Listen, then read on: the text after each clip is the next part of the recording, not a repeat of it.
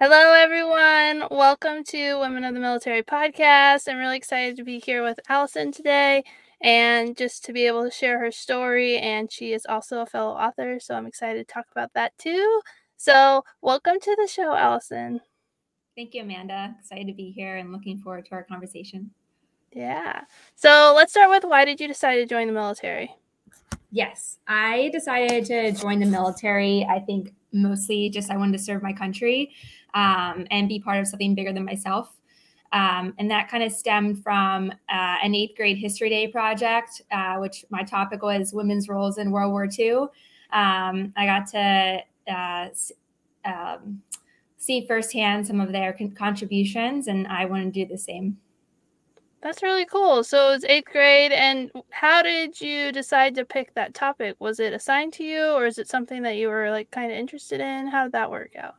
Yes, I had learned that my great grandmother was an army nurse in World War II. Um, and so hearing her story and her contribution kind of motivated me uh, to pick that topic to see what other um, efforts women made uh, for that, um, that uh, wartime effort. That's really cool. I've learned so much history about the women of World War II from doing this podcast, and I had no idea until I started this podcast. So I bet that was a fascinating project. So yes. that sounds really cool. I love that. So then you ended up joining the Navy, right? Yes, I ended yeah. up joining the Navy. And so tell us a little bit about that process. Yes, I um, I decided I want to join the Navy based on the the Naval Academy. I decided to go there for college. One, I was really interested in getting an engineering degree. I really loved math and science in high school, um, and the acad- all the academies have a great engineering programs, um, and I felt that that would give me a, a great way to start my military career. Uh, as well as the training necessary to be the a, a great officer when I went, moved to the fleet after graduation. And so, did you apply to all the academies or just Annapolis, or how did that process go? Yeah, I applied just to Annapolis. Um, I had visited there a few summers. Uh, I grew up playing squash, and so going to squash camp, uh, doing summer seminar at the Naval Academy, seeing the campus, uh, interacting with midshipmen. Uh, I just felt like it was a, a great place, uh, a unique experience, and uh, ability for me to to grow as a leader. Okay. So you got in and you did you play sports while you were there? Yes, I played uh, squash as one of the. I was the only female player on the the men's JV squash team, so definitely a, a unique experience for me. Um, playing with the guys every day and competing against them with other colleges. Um, but I guess given the male dominated environment, it was nothing out of the ordinary for the Naval Academy. Yeah, it's kind of it to be expected. Yeah. Yes. So, and did you do engineering while you were at the academy? Yes, I studied naval architecture and marine engineering. Um, I really liked ship design, um, boats, um, and I, I, think I want to do something with that in my future career. But that sparked my interest as maybe Navy oriented, um, and uh, worked on a few projects with some robotic sailboats, um, and got really close with my my classmates over some team projects. Uh, I loved it. That's awesome. So, is there anything from your time at the academy that you want to highlight or share before we move on to your career? Um, as far as um, I really just enjoyed getting to know my classmates uh, at the Naval Academy. Um, I think the unique experience built those bonds. Um, I was part of the 13th company. Um, so we were often called Unlucky 13, um, a group of uh, 140 of us per se. Um, and our role was to, to run the football to the Army Navy game every year. Um, and so uh, I ended up organizing it my senior year. Um, and we, we um, ran on foot uh, with some police escorts from um, Annapolis all the way up to, to Philadelphia, where the game was played, uh, as a way of getting our, our unluckiness off of the, the yard, as they called it. Um, so I, that was definitely a highlight from my time at the academy. I love hearing like traditions and stories and like silly things that different branches and like military academies do. So that's kind of a fun story to be the mm-hmm. unlucky 13. I think that's really that's a fun little tradition and definitely a good way to bond together as a class and you know the people in your unit. So that's really cool. Yes. So you graduated, and what job did you do in the Navy? Yes, I decided to commission as a surface warfare officer. Um, I really wanted to hit the ground running. I wanted the early leadership experience. I didn't want to get stuck in a, a long schooling pipeline or a training pipeline typical of maybe submarines or aviation. Um, I wanted to make an impact early. Um, and so I chose the role of surface warfare officer and was stationed on a ship in San Diego, California, um, on a, um, a, guided missile destroyer, um, the USS Russell. And um, yeah, I was really excited to go to the West Coast growing up on the East Coast. So yeah, yeah, that's an experience. So you went to San Diego, you moved from one side of the country to the other, and you're kind of on your own. It's a bit different to be on active duty than to be at the Naval Academy. So what was that transition like for you? Definitely. It was uh, a lot at first. Uh, I felt like the Naval Academy prepared me um, as far as uh, the leadership, um, education wise. But yeah, living on your own. Um, my ship was in the shipyard when I first showed up. And so I was expecting just to wear my normal uniform, but I was given hard hat and goggles and um, yeah, earphone or earplugs um, showing up. So it was definitely a different experience from what I was uh, expecting. Um, yeah, I think overall, I think I was definitely benefited from some great mentors early on. Um, I had a, a, a, navigator, a female navigator, who definitely um, showed me the ropes when I first showed up, um, as well as a, a few other um, second tours or a little older junior officers, as we called them, uh, and they definitely helped me, um, you know, get my life together, understand the qualification process, and what I needed to do to be successful as a, a young ensign on a, a Navy ship. Yeah. Yeah, and you so it sounds like you guys were like they were working on getting the ship ready to go back out to sea. Is that what they were doing? And so you had that to learn and then you had your job to learn and you had to learn how to, you know, be an adult and make your own meals and do your do all the things that, you know, in the dorms at the academy you didn't have to worry about so much. So, yeah, that's a lot. Definitely. Yes, it was uh, a lot definitely balancing um being on a ship or going, we would go out to sea for maybe a week or two at a time and come back. And so, you know, your groceries go bad or your car has to be in the right parking spot so it doesn't get towed. So, definitely a lot of hands on learning, um, first off. But yes, we uh, we're getting the ship ready to, to deploy It was the ultimate goal. Yeah, I mean, that adds like a whole other level of dynamics because that's not something people usually think about. Like, I, I my husband travels a lot, so when I go grocery shopping, I have to think like how much food is he going to eat for his lunches because the same thing like the stuff doesn't last the whole time if he's going to be gone. And so I but I've been doing grocery shopping for years and so it's just kind of like part of my natural thing that I have to do. But if you're like in the process of learning like how much groceries do I get, but then you have to also factor in I'm not going to be here for 2 weeks. That would just make it really challenging. Definitely. And the car thing. That doesn't sound like fun. no. Uh, thankfully, I only got it towed once. So I, uh, I learned my lesson for sure. you were like, it only takes one time. And then you're like, wait, I got to park in the right spot because I don't want to deal with that again. Yes. So, how long were you guys getting everything ready and doing these like little short stints out in the water before you headed out on deployment? Yes, it ended up being about a year in the shipyard, um, and then another year of month uh, month on month at sea and month back in port um, until we uh, deployed again. Um, so I would say about two years in, and I was about to embark on my first deployment to the Western Pacific. Wow! And what was that experience like?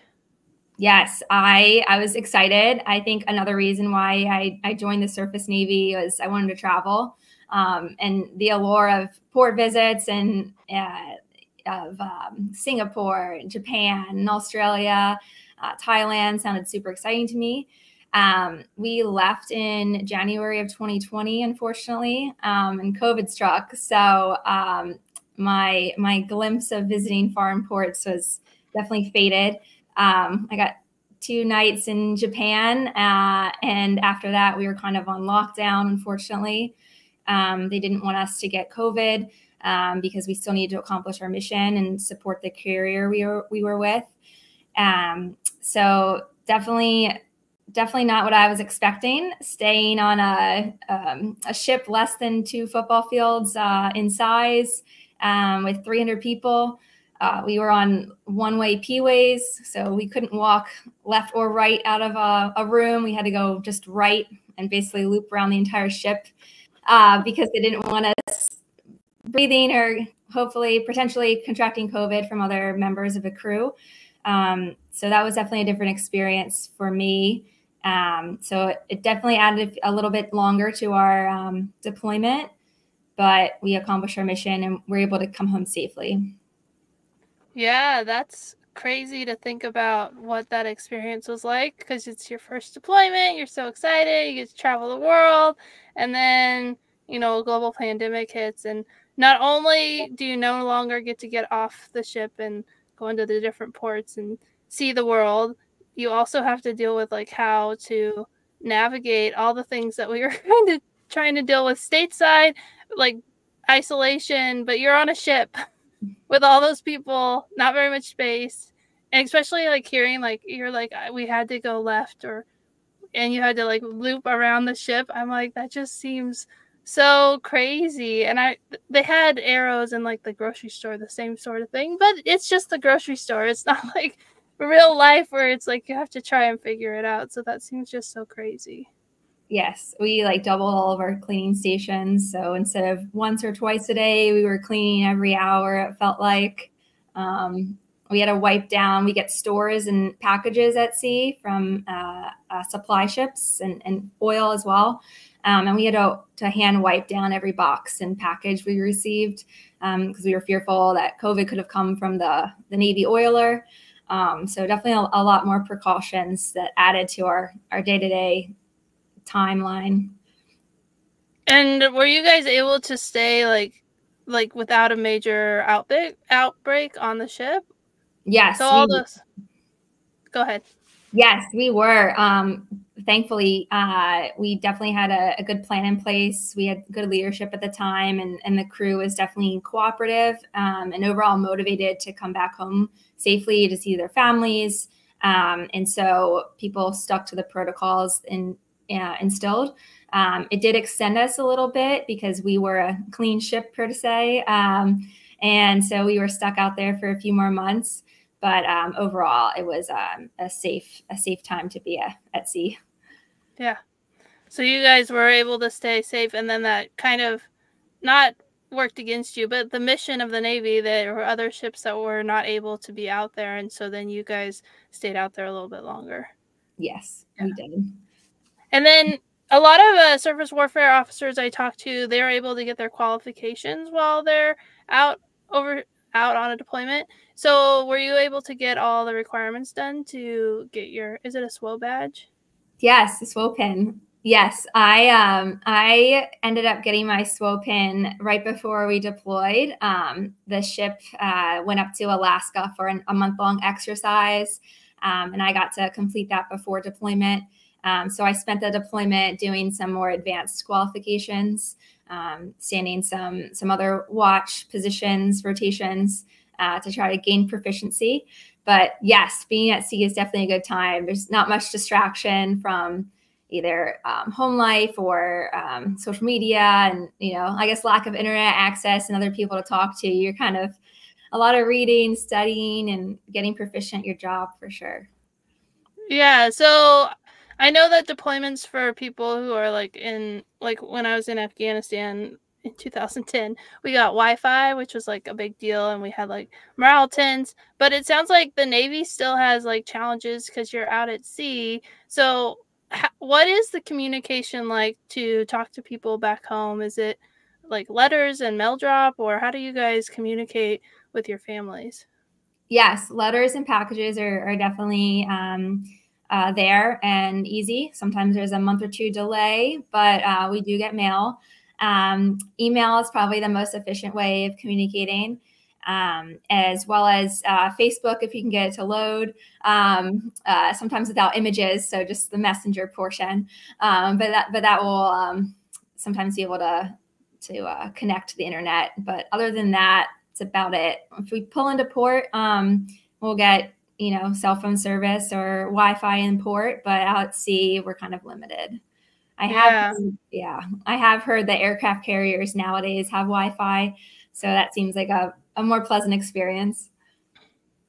Yeah, it's kind of cool how technology is changing and making it so that you can stay connected even out in the middle of the ocean. So that's kind of cool. But I understand we didn't have Wi-Fi until like the last two or three weeks when I left, and like we couldn't for our work computers. That was what we used. Email was like the only thing because Facebook was blocked, and like there was all these other challenges, and so you didn't. We have very limited um, internet access in terms of like social media, and now, and now my friend was FaceTiming her husband in his dorm room and I was just like, this is crazy because we had to go to the morale tent and wait for a computer and it was just a whole different experience. So wow, good for them though. That's a that's a yeah. good sign that makes deployment a little bit more bearable for sure.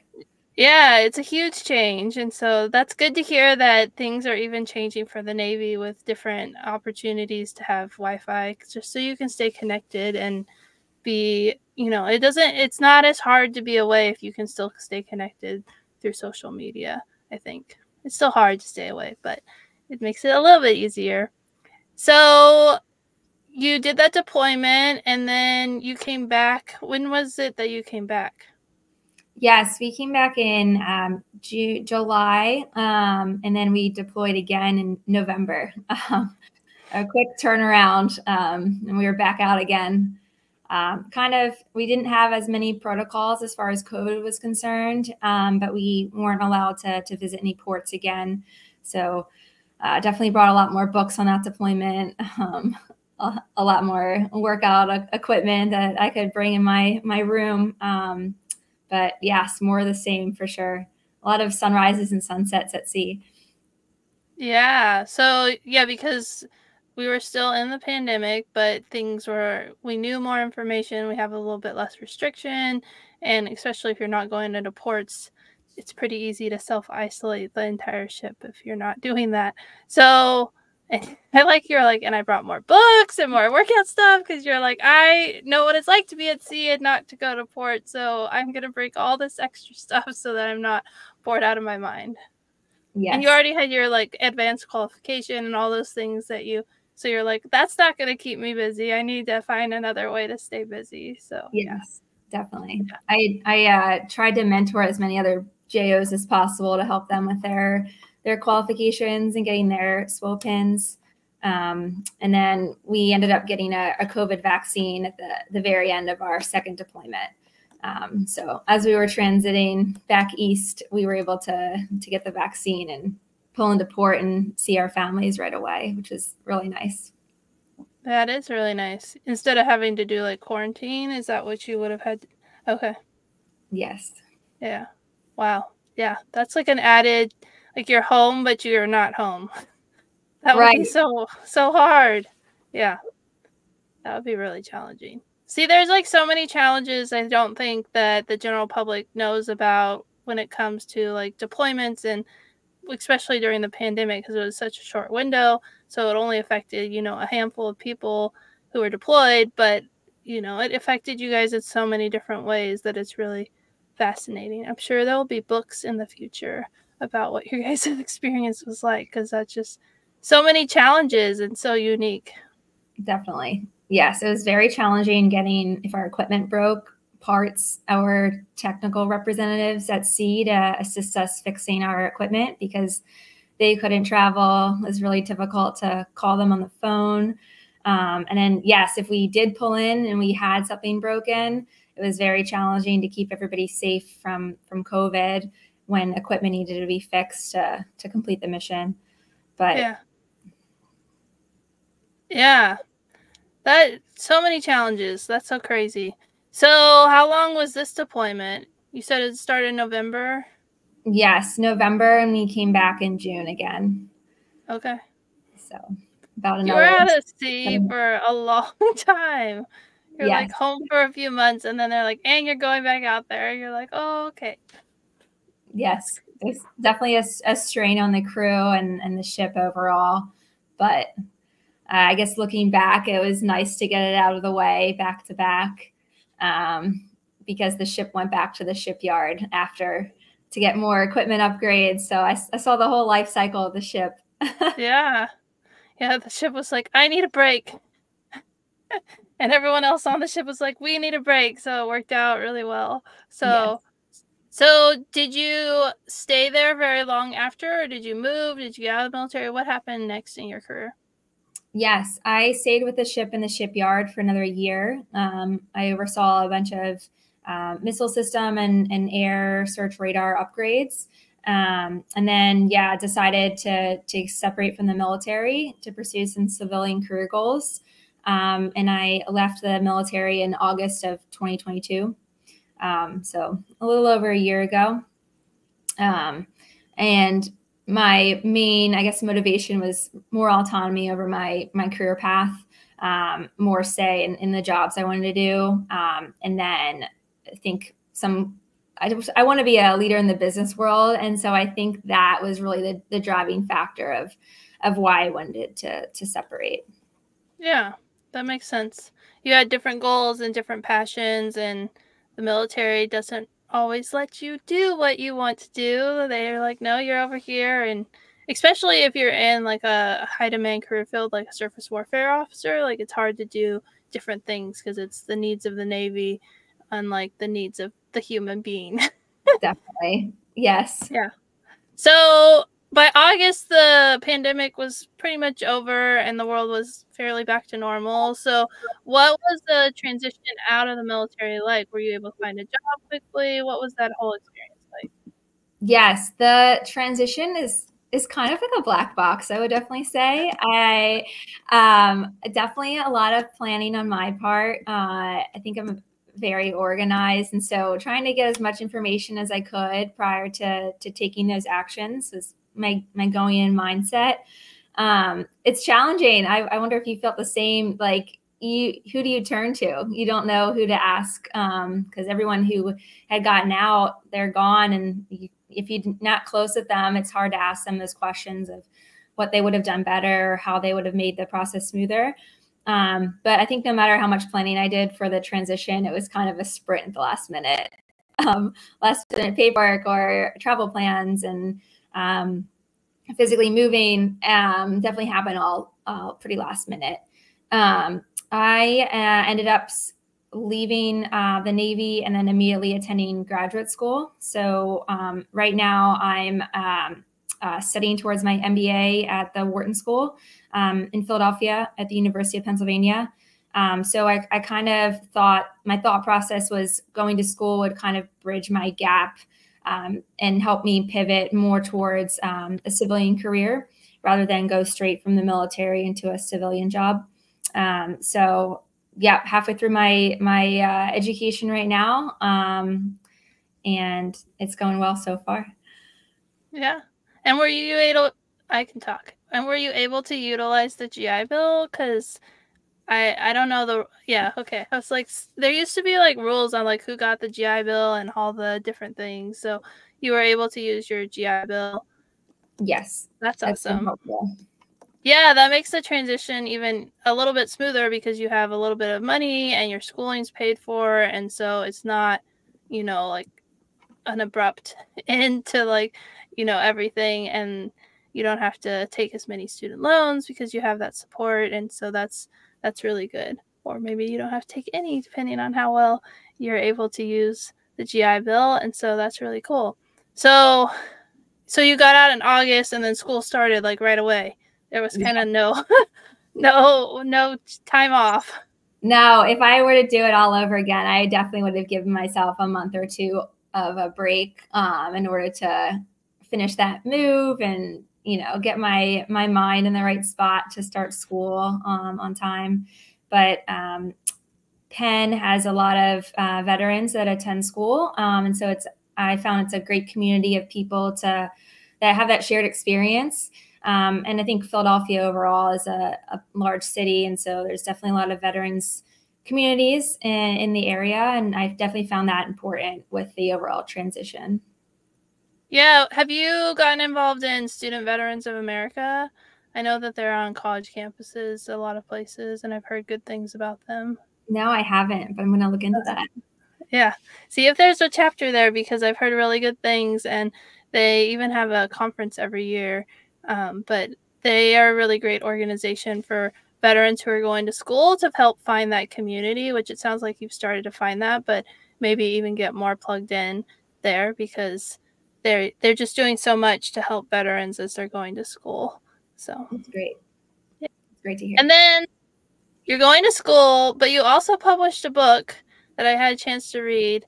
Um, and it's similar but very different to a Girl's Guide to Military Service. So you can you talk a little bit about why you created the book and yeah, and that's we'll start there. Yes, I I started writing it while um, I was uh, my last year in the Navy, um, and I kind of put it aside to kind of think it through as I actually transitioned out and, and lived that experience um, before I went back to review and, and edit. Um, I my motivation to write it was mostly I felt like I had great mentors and, and support throughout my entire military career, um, whether that was uh, the Naval Academy, picking surface warfare, or um, on my ship. Um, my few of my bosses helped me decide what career path I wanted to do next. Um, we get different jobs assigned to us on board the ship. Um, and so uh, deciding what job I wanted. Um, and I think uh, I was definitely very fortunate to have people like that um, throughout my career. Uh, and I realized that some of my peers maybe didn't have that or might have been on type of a maybe autopilot of letting the military kind of dictate their their next career move or their life choices. Um, and I didn't want that for them. I wanted them to kind of be empowered to make their own career decisions, accomplish their goals. Um, I mean, their goals could be aligned with the military 100%. Um, and I just wanted to provide my experience and my advice um, to them as they try to start their career, um, determine uh, what they want to get out of their career, either pivot to a different branch or um, a different billet. Um, and then if they decide to transition out or uh, retire, you know, how they actually make that transition and, and what do they need to know prior to physically separating? Yeah, I thought it was a really concise, easy way to have like all the bullet, you know, checkpoints of what you need to know for each thing. And so I thought it was a really good organized thing and especially for like people who are like even if you've like already joined the military but you're like trying to figure out how to figure out where things are and what things you need to think about for the future i feel like it did a really good job of making it so that you could start thinking about it. If you were already in and you were like just you know on autopilot like you said you know they're like oh these are things i can take control of. These are things i need to start thinking about for the future. And so i thought it was really great. Can you say the name of the book? Yeah. I...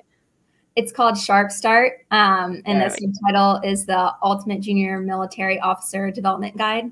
Um, and yeah i to the to the point of the bullets i think it's definitely useful to have conversations with friends um, whether that be in your um, in your we called it a wardroom what kind of where we ate ate lunch or meals um, and did briefs um, or your you know your your uh, units hangout area um, as a way to kind of spark that and, and, and start talking about you know mentorship or networking and, and career choices. And you know the more you talk to people about that stuff the more you learn about areas they've researched or that you've researched um, to try to to spread the knowledge as much, as much as possible.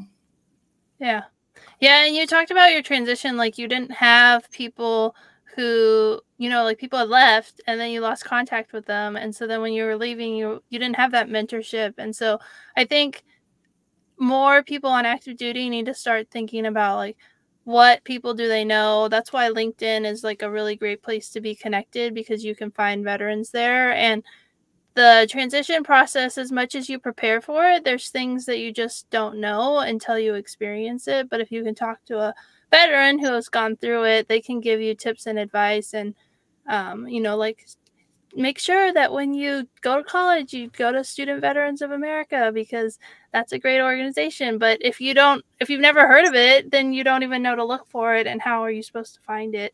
Um, so I think I think it's really cool that you're giving back and helping people with something that you found valuable through your experience. So I, I commend you for the work that you're doing. That's really awesome. Thank you. Yes, I really enjoyed writing it. Um, definitely, you know, thinking back and and having some friends read it and family read it. It's definitely, um, yeah, I, I enjoyed the process overall of actually putting it together too. yeah, yeah, it's kind of like a healing process to write you know your story and to look back at your career and so that that makes sense. I can I can, that resonates with me. So yeah. So are there anything anything from your career or from your transition that we didn't get a chance to talk about that you want to highlight? Hmm. Yeah, I think just just overall, you know, it's it's kind of your your path um, to people who are listening and and just try to ask those questions and have conversations with as many people as possible. Um, as I think at the time I didn't I didn't know how grad school would fit in my my future, and through talking to some people who who did that in the past, definitely um, helped me stay focused and and gave me that opportunity. So yeah, definitely use people at your commands or outside of your commands, or if you're thinking about joining the military, you know, talking to active duty and veterans and try to get that whole perspective for sure. Yeah, and you kind of jumped ahead and answered a little bit of my advice question, but do you have any last minute or last advice for someone who's considering joining the military? Yes, I I think that the best advice I could give is probably to to remember your why. Um, I think you wrote about it in your book, Amanda. Um, definitely resonated with me. Um, I think having that why definitely helped me throughout the Naval Academy or on deployment or away from family and friends. Um, and so just remembering that why is, is really what's going to get you through those hard times. Um, and so if you can really solidify that before you join, uh, I think you'll have great success.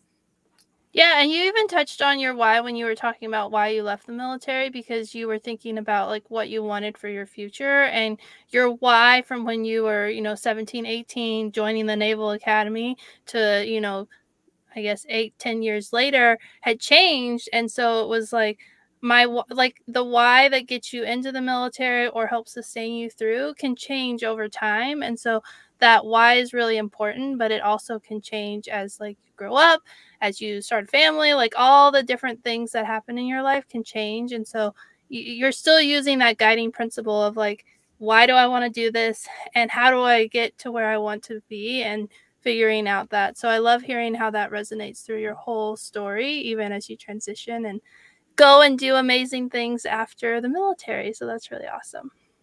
Thank you. So thank you so much for your time. I'm really glad we got to talk. And if you know someone who is joining the military or attending a military academy or in ROTC, make sure they go get out, go out and get Sharp Start. I can talk today. I don't know what's wrong with me, but your book is great, and they could get Girls Guide too. But yeah, I think the two books companion really well together, and so I'm really excited that we got to meet and that we got to connect. So thank you so much. Thank you, Amanda.